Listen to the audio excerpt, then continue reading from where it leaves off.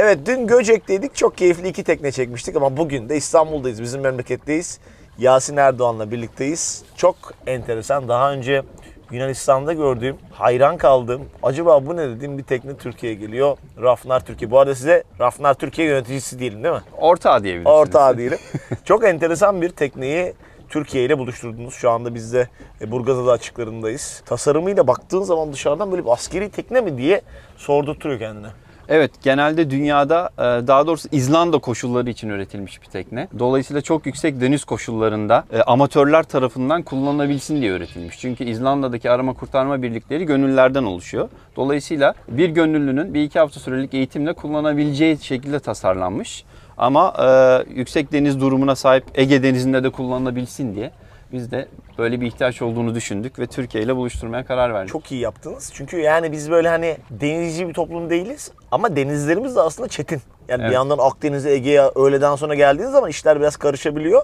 Özellikle böyle Türkiye'de işte riplerin popülerliği çok artmaya başladı ve onların böyle hoplaya zıplaya gitmelerine alışkınız. Bu tekneyi dışarıdan bir gördüm. Zıplamıyor. Evet. Zıplamıyor yani suda. inanılmaz. Bu teknenin özelliği zaten icatçısı diyelim. Tekne formunu icat eden kişinin de e, yürüme engeli var. Evet. Ve bu kişi İzlanda deniz koşullarında tekneye binebilmek için çok büyük ve zaman ve para harcayarak bu tekneyi tasarlamış.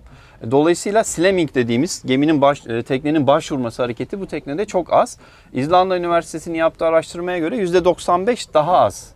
%95 inanılmaz yok demek Ee, Evet, yani. evet. Dolayısıyla hem içindeki insanları çok daha az yoruyor hem de içindeki ekipmanı çok daha az yoruyor. Ama şey gibi yani gövde ben ge- gelmeden önce videolarını da izledim. Böyle yarı deplasmanla farklılaşmış bir gövde tasarım var. Ökehul deniyor zaten. İsmini Evet, de koymuş e, yaratıcısı. Öykehal. A- a- am- amputeymiş kendisi. Hakikaten çok önemli bir şey yapmış. Ge- Gelirken de biraz sohbet ettik. Yani aslında teknede vibrasyonu azaltan bir şeyi de bulmuş. Kendisinin kendisi anladığım kadarıyla kendi değil mi diziyle Evet, ilgili olan evet. problemi böyle vibrasyon problemini tekneye acaba nasıl e, entegre ederiz? Nasıl daha sakin kullanırız? Ve çok ente- enteresan bir şey başarmış.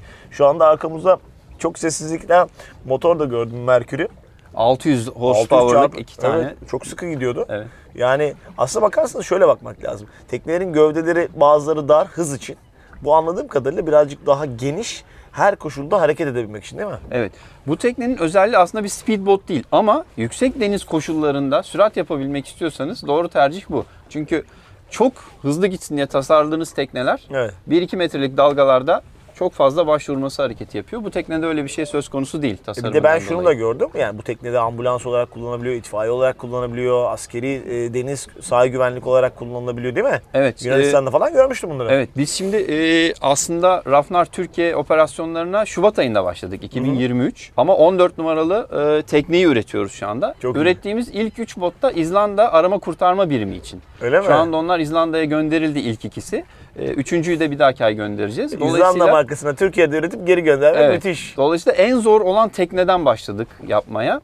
E, bundan sonra artık Leisure Market'le buluşmak Ama istiyoruz. galiba yeni bir gövde de yapıyorsunuz 45 feet değil mi? Evet bu 40 fit cross cabin modeli biz 45 fitlik de yapacağız. Bir metre daha uzatacağız Türkiye teknemizi. için böyle biz birazcık daha geniş Evet. severiz. Biz çünkü biraz oturalım, sohbet edelim. Tabii Ee, biz bu arkada istiyoruz. şeyi severiz. Bir de anladığım kadarıyla bazılarının tamamen kabinler kapalı. Bazılarının arkada targa olan da birazcık daha konforlu arkada oturma alanı da var Evet. değil mi? 3 modelimiz var aslında. Targa modeli daha spor model, açık e, e, kabin diyelim.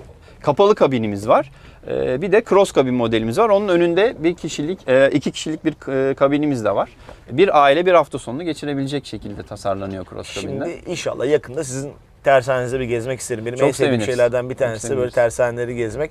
Hakikaten iyi bir marka. Başarısı da bol olsun, güzel olsun. Teşekkür ederiz. Bugün galiba Maserati'de de bir event var. Evet. Nautica'da onu da gördüm. Ee, böyle cross marketing şeylerini de ayrı seviyorum otomobilci olduğum için. Akşam öyle bir faaliyetimiz var. İnşallah o da iyi geçecek. Güzel olsun. Şimdi son birkaç soru daha sorayım size. Yılda ne kadar üretmeyi planlıyorsunuz? Kaç tane gövde? Bizim e, şu anda kurduğumuz altyapı senede 70 tane bot üretecek şekilde tasarlandı. Çok büyük bir e, kapalı alan. Toplamda 3500 metrekarelik kapalı alan- alanımız var. Dolayısıyla 70-75 tane bota kadar çıkabiliriz senede.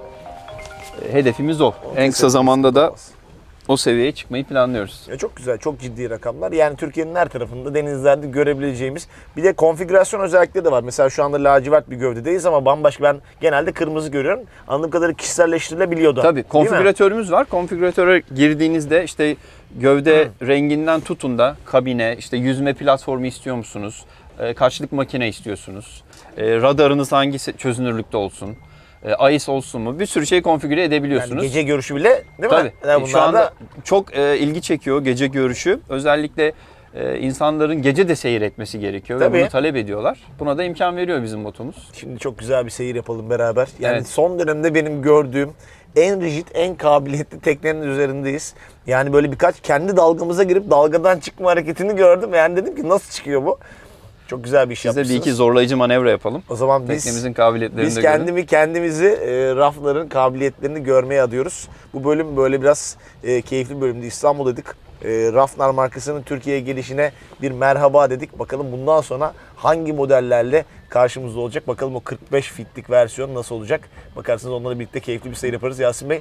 Teşekkür İnşallah. ederiz. Şansınız bol olsun. Çok güzel olsun. Çok teşekkürler. Sağ Hadi olun. bakalım takipte kalın. Evet Rafnar'ın iç mekanına da geldik. Yani koltukları görüyorsunuz. Süspansiyonlu amortisörlü koltuklar. Yani çok hızlı seyirler yaptığınız zaman vücutla beraber dengeli bir şekilde gördüğünüz gibi bakar mısınız amortisörle?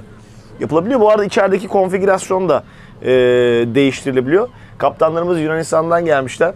Alexander Apolyan Dede Ağaç'tan yaklaşık 6 saatte buraya gelmişler. 55 knotlık bir seyir hızına da ulaşmışlar.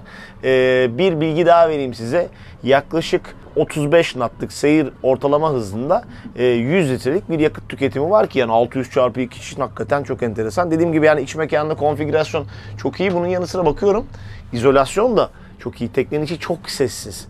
Ee, önde ön tarafta bir tane de kabinimiz de var. Yani hani zorlu koşullarda iyi bir tekne arıyorsanız ve her koşulda bir yere gidebilmek istiyorsanız hani vardır ya böyle Marmaris'ten Mykonos'a gitmek istiyorsun. Hava çok kötü. Havayı bekliyorsun. İşte bu tekneyle o koşulları aşabilmeniz amaçlanıyor. Yani İzlanda'da ben daha önce bir kere gittiğimde balina avına gidilmişti. Yani midem bulanmıştı. O kadar zor bir deniz var ki.